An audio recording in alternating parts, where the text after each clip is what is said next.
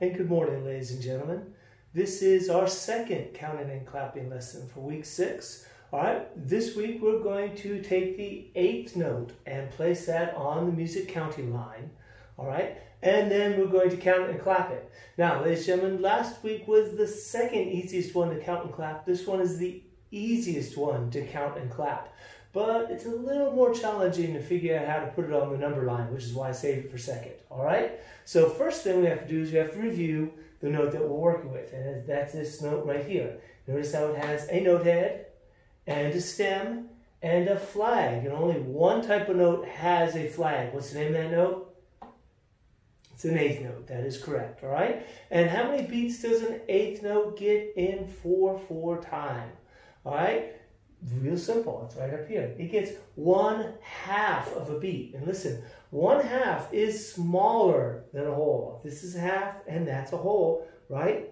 So when we add one and one, we get two. But when we add one and one half, we get one and a half, not two. You need to remember that, all right? Okay, so let's go ahead and start by putting all these, by filling up our number line just with eighth notes so you can see what they would look like, all right? So the first thing we do is we have to start with what number? What number do we always start with when we start counting? Number number one. That is correct. All right. So we put our note head up here. Got our note head right up here on the one. Give it a stem. And then put a flag on it. Right. Now, that is an eighth note. And how many beats does an eighth note take? Take up? it takes up only half a beat. So what is, where are we going to write the next note? Well, it's real easy.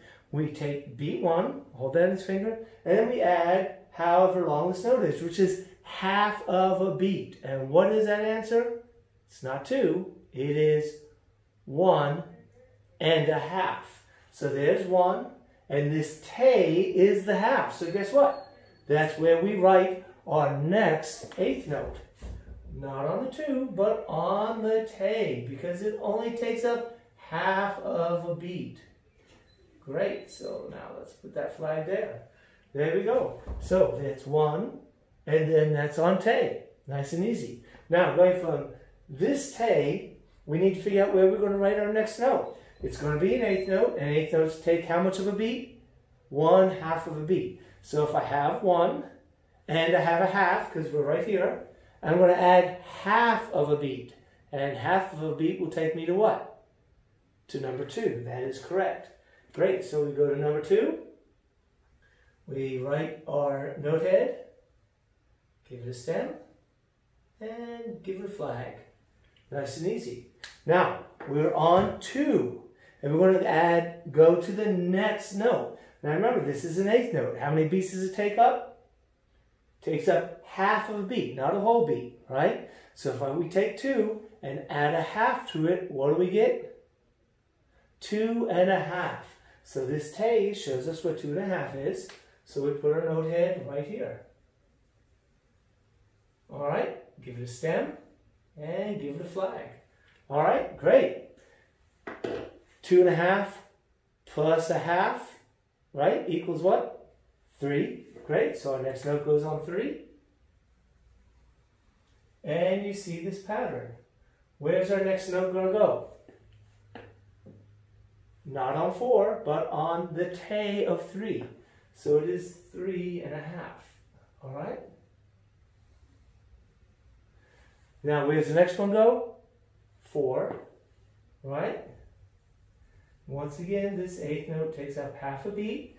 So we have to go one more. We haven't filled it all these up yet. What's next? The te. All right? Great. Now, as I said, counting and clapping is an absolute cinch using this. So let's take a look and see what we got here. Take a look at this one. Does it have a note above it? Yes. So do we clap there? Yeah, we go one. Take a look at this te. Does it have a note above it? Yes, it does. So when we say te, we say te. One says two. Does it have a note above it? Yes. So what do we do? We clap there. Two. Take a look at this te. Does it have a note above it? Yes, it does. So guess what? We clap there. We say te. Now, When it says three, right? Does it have a note above it? Yes, it does. So we clap there. Three. Does this Tay have a note above it? Yes, it does. So we clap there. Tay. Does this four have a note above it? Yes, it does. So do we clap there? Yes, we do. Four. All right, it goes like that. Four. And this last Tay, does it have a note above it? Yes, it does. So we clap there. Tay. Matter of fact, we clap on everything. It's the easiest one to do. It sounds like this. One, tay, two, tay, three, tay, four, tay. Nice and easy. Okay? So all we do is read the number, check see if it has a note above it, then say the number and clap if it has a note. If it doesn't have a note, we just say the number. All right? But as you can see in this one, every one of them has a note. It's the easiest one to count and clap. As soon as you say something, you count and clap. None of them will be this easy the rest of the year. All right? But this one is pretty simple, okay? Because it's just count the eighth notes with me. One, two, three, four, five, six, seven, eight. Eight eighth notes. And that's why they're called eighth notes. It takes a full four measure and divides it into eight even equal parts. All right. So count and clap with me one time, then count and clap without me, and we'll be finished with this one for this week. Here we go. Ready, go. One, K, two, K, three, K, 4, K. And now there's no more music, so we stop. All right? Now, ladies and gentlemen, it's your turn to do it without me, all right? So if you need to practice this and listen to this a couple times so you can get it right every time, go ahead and do that. But if you can get it right this first time, then you'll probably be pretty good to go until next week, all right? So let's take a look at this, starting with number one, all right? You, uh, I will count with you, but you're going to have to count and clap by yourself. Here we go. Ready, go.